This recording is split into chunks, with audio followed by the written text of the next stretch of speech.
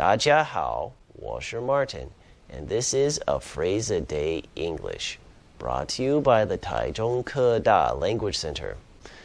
Today we will talk about the phrase to stab someone in the back, which is something Caesar here can tell you all about. To stab someone in the back means to betray a friend. In Chinese, you would say, 暗箭伤人.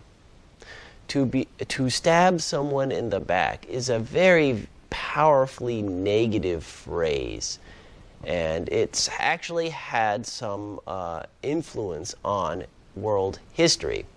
If you don't believe me, just look up Germany in the 1920s and 30s. Trust me, this phrase is very, very powerful. I can give you two example sentences that will show you how this phrase is used. Example number one Caesar was stabbed in the back by his close friends. Literally. Example number two I thought Leo was my friend, but he tricked me and stabbed me in the back.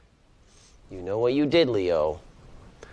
Okay, the phrase to stab someone in the back is very closely related to the noun backstabber, which is a word that describes somebody who stabs people in the back.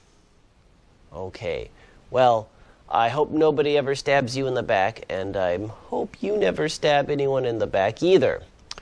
And I hope you come and join me again next time I do this little video for you.